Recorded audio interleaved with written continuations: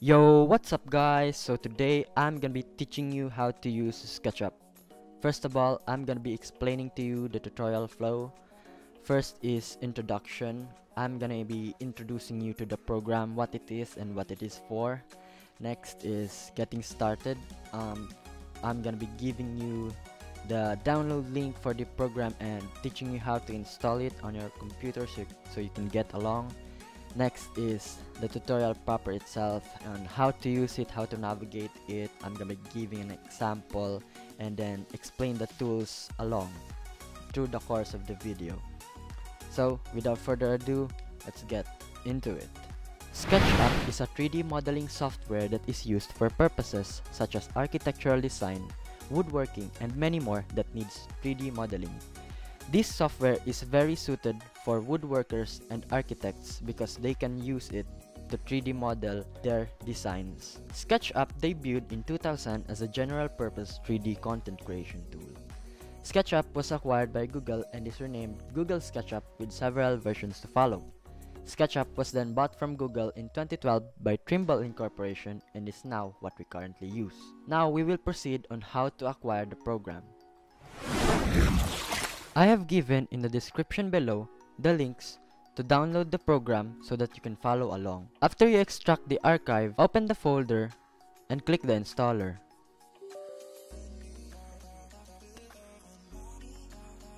And wait for the installer to extract itself.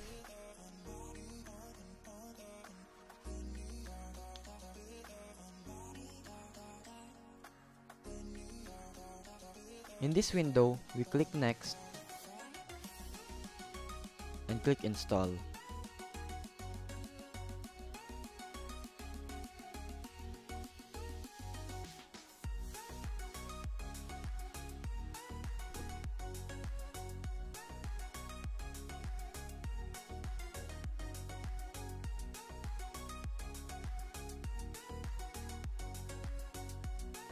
Click finish and go back to the folder.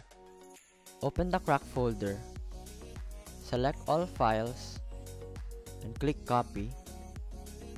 Then, in your desktop, you will see that the program comes in three packages. Layout 2019, SketchUp 2019, and Style Builder 2019. Right click and then open file location. This will open a file explorer and then right click and paste the copied items. In this prompt, click Replace the files in destination. Continue and close. Now, you have finally installed SketchUp 2019 in your computer. Now that SketchUp is set up and installed, you can now proceed to the tutorial. Open up SketchUp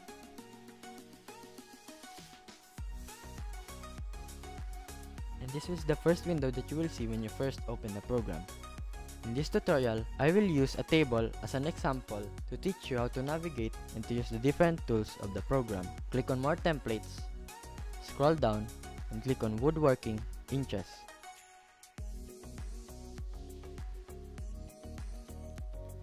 This is the user interface of the program and at the top, you can see the toolbar with the different tools and on the side is the default tray that has the materials and the different textures that is available to us.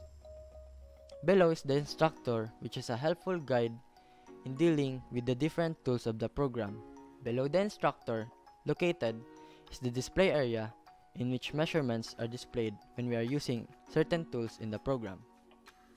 To navigate in SketchUp, we're gonna be using the Orbit tool here or we can just press and hold the mouse wheel button and navigate in SketchUp. Now to zoom in and out, you just need to scroll up and scroll down. Now to navigate further, we're gonna be using the Orbit tool along with the Shift key on our keyboard to get a different perspective on the model.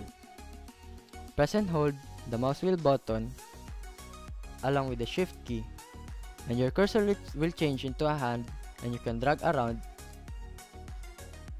and see different perspectives on the program. SketchUp has three different axes, the blue axis, the green axis, and the red axis. In this tutorial, we're gonna be starting by creating the legs of a table. So first, the first tool is the rectangle tool which allows us to create flat surfaces of rectangles that we can later on extrude using other tools. The rectangle tool is located here or we can just type R in our keyboard. Now we're gonna be zooming in here in the origin in which the three axes are intersecting. We're gonna be clicking once and as you can see the rectangle tool creates these grid lines that serves as a guide. Now I wanted the rectangle to be the, to be 2 inches by 2 inches the dimension so I'm just gonna be typing 2 comma 2 and hit enter on my keyboard. And as you can see we have created a square of 2 inches by 2 inches rectangle flat surface. Now to make this a leg we're gonna be extruding it using a different tool called the push and pull tool. The push and pull tool is located near the rectangle tool which is just beside it. Click on it and click on the rectangle flat surface. And as you can see it makes the rectangle 3D and I'm gonna be typing whatever value that I wanted it to be. So I'm just gonna be typing 16 as the height of my table leg. Click enter and there it is. The first leg is completed. Now we need to duplicate this so that we can create more copies and join them together to form the base of our table. Now to select this, we're gonna be going back to our select tool, spacebar on your keyboard, highlight it, and we're gonna be creating a component so that these pieces are glued together when we are attaching them to different parts of our table. So to create a component, we can do right click, make component, or we can as well hit G on our keyboard and then hit enter. Now that we have created a component, we can select the leg and use another tool which is called the move tool to move this leg around. You can use the move tool to move the leg around and move objects around in SketchUp. And we can use to by hitting Control to copy things in SketchUp. So I'm just gonna hit Control on my keyboard and as you can see, we have created a copy of the leg. Now I wanted the leg to be 19 inch apart so I'm just gonna be typing 19 inch and hit enter. Now that we have created these two legs, we can again repeat the process to create the extra two legs so we have four of the bases. Select the two legs. Click the move tool. Snap it around the red axis and click the control to duplicate. Now type in the value that you wanted it to be. I want it to be 25 inches apart and hit enter. Now that we have created 4 of our bases, we can now proceed to creating the side rails of our table. Now I'm gonna be starting with this first leg and using again the rectangle tool. I'm, I'm gonna be creating the side rails from this corner. Drag around. I want it to be 4 inches. So I'm just gonna be typing 4 inches. And after that we have created another flat rectangle on this leg. Now I want the rectangle to be in the center of the leg so we can later extrude it to make it 3D. Now to move it, we're gonna be using the move tool. M on your keyboard, I'm gonna be clicking here in the corner. Or you first select this rectangle, click the move tool, click on the cor corner, or you can as well click on the midpoint and snap it to the middle of the leg. You can see that it is snapped in the middle of the leg when it shows violet here. Click and after that we have finally placed the rectangle on the middle of the leg. Now again, using the push and pull tool, we can extrude this rectangle and copy it to other parts of the table.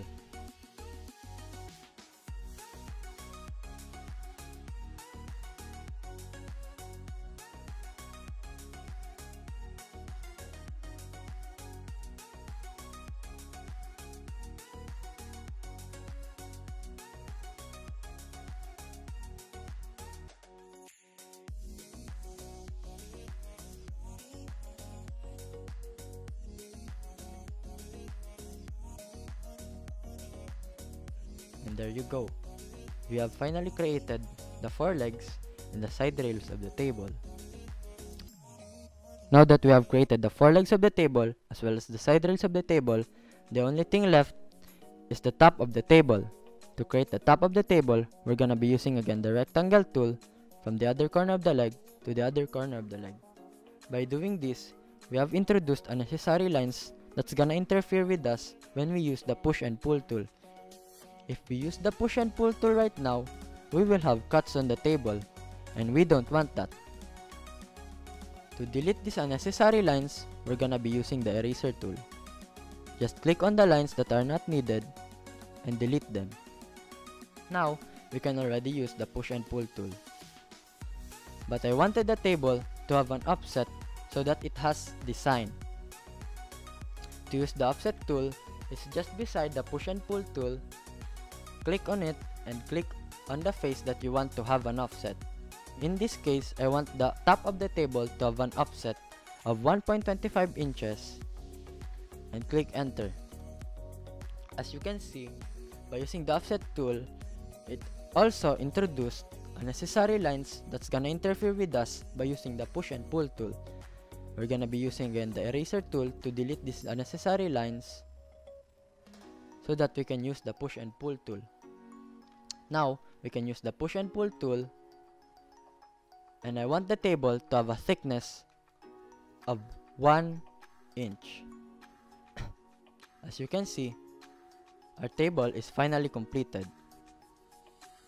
Now, the table is now completed, but I wanted the table to have a wooden look and we can use the material tab to introduce textures in the 3D model.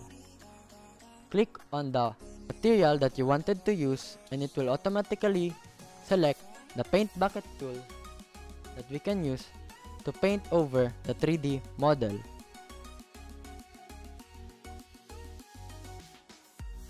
By using the different tools in SketchUp as well as navigation tools, you can explore and discover as well as create architectural designs and woodcrafts in this 3D modeling software. This is Rocky Walter Alegria, 11 STEM 1 represent. That's all. Thank you.